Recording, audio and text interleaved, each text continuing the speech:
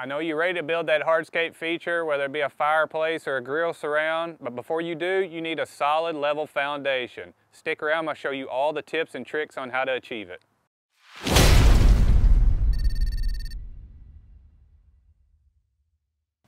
I know you're ready to get started, but before we do, I just want to go over a few essentials that we'll need for this build. Of course, we have the rock, the wheelbarrow, level, dead blow hammer, a tamp, our lumber, shovels and rakes, and some basic power tools. Click the link below to download the instructions for a more detailed list about what you'll need. You might be wondering what type of rock we recommend for, for our projects. For your basic fireplace feature or, or grill feature, we recommend using a road base material, and that's a general term. Across the country, it's named different things. Dense grade, CA6, crusher run, it's all a one inch aggregate down to dust material. If you want to know how to order it, don't get too caught up on the name. Just check with your local supplier in the area and name road base material, and they'll, get, they'll point you in the right direction of what you need. You've got your hole dug, you've got your two to three tons of rock in, but before we're ready to level our pad for where you want your feature at, we need to cut some lumber to get our screed boards in place.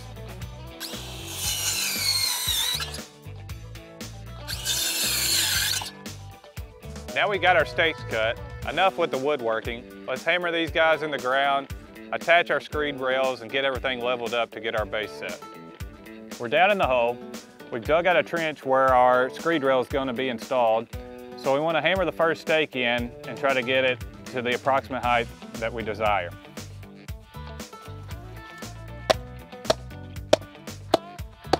We really want to hammer the stake down below the screed rail so that when we run the screed board across it, uh, it's nice and fluid and doesn't get caught up on the stake.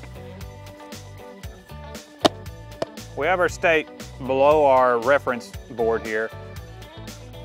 Now we're ready to screw our screed rail onto our stakes. We want to use two screws per stake, but a quick tip to getting everything level is just to screw one screw into your screed rail at first. That way we're allowed to pivot to adjust it to get level to the second stake.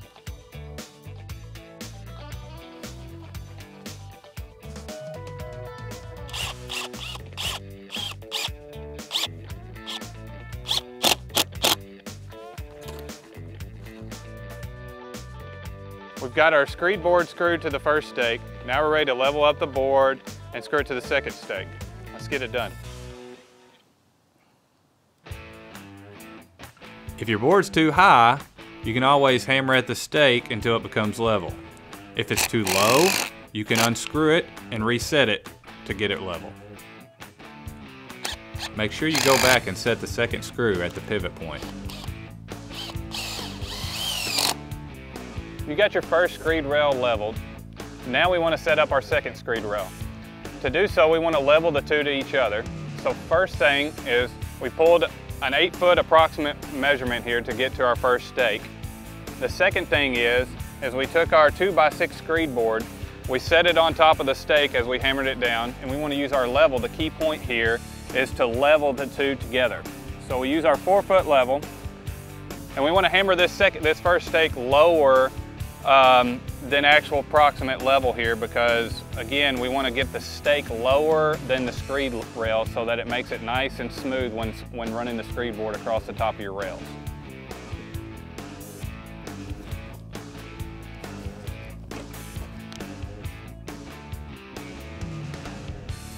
All right, so I'm bringing this screed rail up to level with the first screed rail.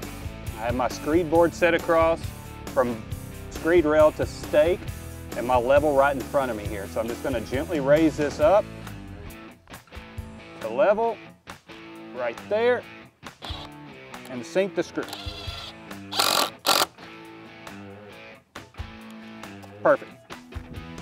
We're gonna do the same thing to this stake that we did with the other and everything should be level together.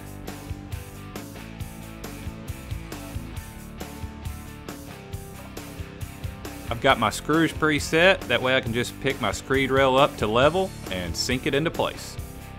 Oh yeah, there it is.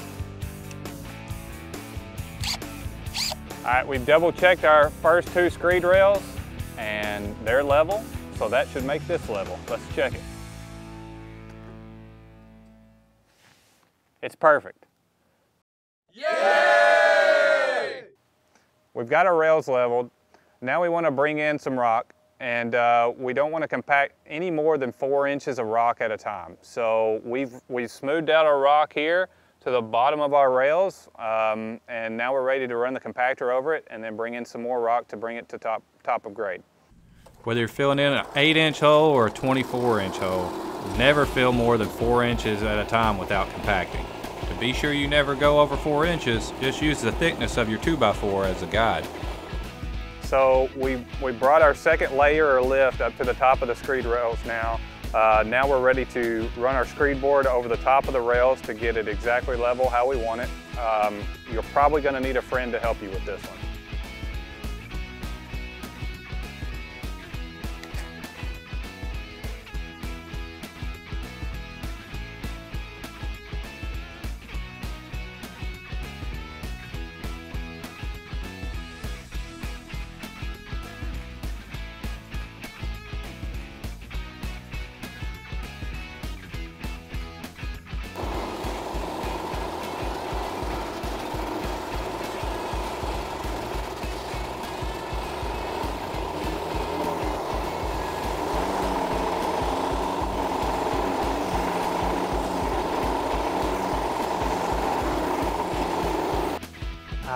Look at that, nice and flat. Now we're ready to put some sand down.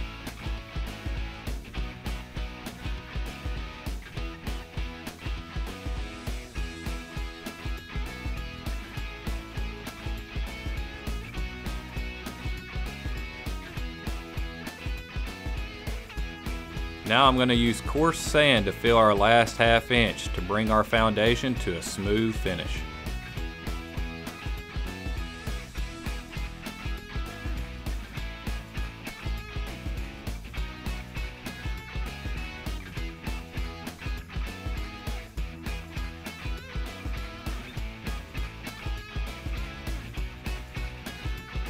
Rake your sand around to the approximate height, leaving it a little high, that way it makes for easy screeding. Alright guys, we're almost finished. Screeding the sand is the last step to achieve your final grade. It's not necessarily difficult, but I'm going to show you this in real time, that way you can see exactly how meticulous I am. You will find debris in your sand as you're screeding. Simply remove the debris from the sand, add some more sand to the affected area, and rescreed that section. Now that the sand's prepared, be sure and pull the screed board along the rails, giving good downward pressure. It's very important to keep debris off the rails as you're pulling.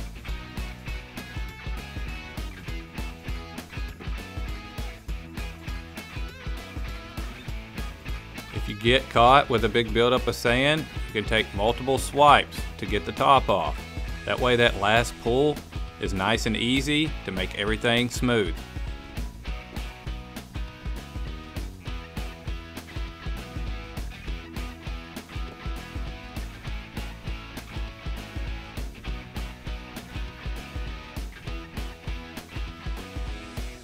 Since this is what we're going to be building on top of, we really want to be tedious to make sure this is perfect.